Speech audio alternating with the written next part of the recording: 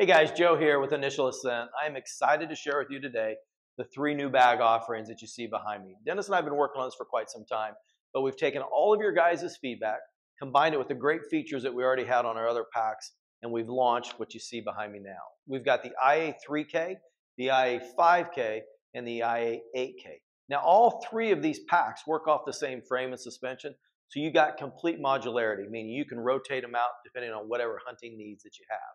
In addition to that, you can pick up any one of the packs in the three different colorways that you see here as well.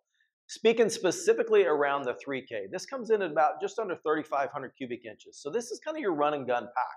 It's perfect for say one to four days. Um, so it's compact in its size. You got a lot of flexibility to kind of consolidate things down.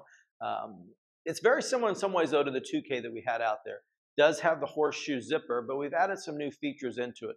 We've given some more storage on the outside. We've got a larger spotter pocket on the side. We've also got on the other side a, a dedicated area for your tripod or you can run your rifle over there. So you've got more flexibility than you've had in the past, but we're very excited about the 3K. It does come standard with the lid, which the 2K did not.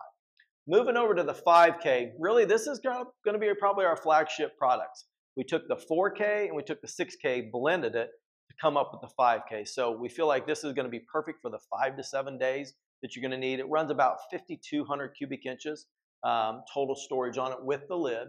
You've got a giant pocket on the outside, which is fantastic for all of those things that you just want last minute shoved in there, whether it's your puffy or your rain gear, things like that. Um, but this does feel like this will be our flagship go-to pack for a lot of folks because of this, the cubic inches. Moving up though to the expedition style pack. Now we've had the 8K out for a little while but we've changed the colors to harmonize with our other packs, meaning all three of these packs have the same colorway for the shoulder straps and the hip belt. We're trying to harmonize that and give you a lot more flexibility with your packs. The 8K, very similar in size or in, in shape to the 5K, it's just a lot bigger. It's about 8,200 cubic inches. So if you're going on the expedition style hunt where you're going to be out 10, 14 plus days, it's the perfect option for you.